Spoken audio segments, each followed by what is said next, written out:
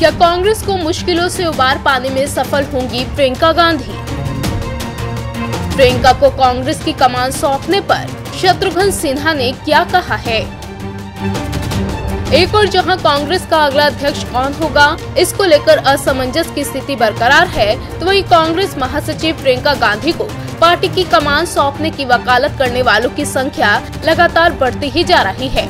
एक दिन पहले ही पूर्व विदेश मंत्री और सीनियर कांग्रेस नेता नटवर सिंह ने प्रियंका गांधी को कांग्रेस अध्यक्ष बनाने की मांग की थी और इस फेरिस्त में पूर्व सांसद शत्रुघ्न सिन्हा का नाम भी शामिल हो गया है। जी हाँ, बिहार के पटना साहिब सीट से पूर्व लोकसभा सांसद और कांग्रेस नेता शत्रुघ्न सिन्हा ने प्रियंका गांधी को कांग्रेस का अध्यक्ष बनाने की अपील की है। उन्होंने कहा कि पार्टी अध्यक्ष पद के लिए प्रियंका सबसे उपयुक्त है। सोनभद्र मामले पर प्रियंका की सक्रियता की जमकर तारीफ़ करते हुए शत्रुघ्न सिन्हा ने उनकी तुलना इंदिरा गांधी से भी कर दी। प्रियंका को ओजस्वी नेता बताते हुए पूर्व सांसद ने कहा कि अगर पार्टी की कमान उनके हाथ में जाती है तो ये कांग्रेस के लिए बूस्टर की तरह होगा। इसका ज़िक्र उन्होंने अपने ट्वीट में भी किया, जिसमें उन्होंने लिखा, यूपी के सोनभद्र में हुए नरसंहार के बाद प्रियंका गांधी ने जिस तरह से पीड़ित परिवार से मिलने के लिए संघर्ष किया, वो मुझे इंदिरा गांधी की याद दिलाती है।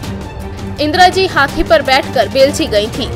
सोनभद्र नरसंहार को लेकर प्रियंका गांधी ने जिस तरह से यूपी सरकार को चुनौती दी, वो ज़बरदस्त थी।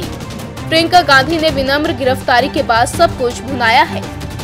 अपने एक और ट्वीट में कांग्रेस नेता ने लिखा, प्रियंका गांधी ने उन परिस्थितियों में शानदार मानसिक संतुलन दिखाया। ये मेरा नम्र निवेदन है कि वो पार्टी अध्यक्ष पद के लिए उपयुक्त होंगी।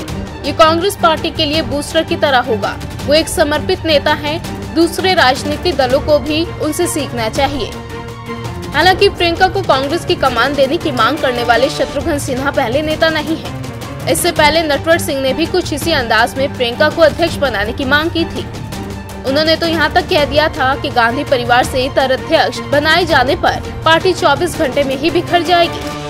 इसके अलावा पूर्व राष्ट्रपति प्रणब मुखर्जी के बेटे अभिजीत मुखर्जी और पूर्व पीएम लाल बहादुर शास्त्री के बेटे अनिल शास्त्री सरीखे नेता भी कुछ इसी तरह की मांग कर चुके हैं। इंडिया न्यूज़ वारंट की रिपोर्ट।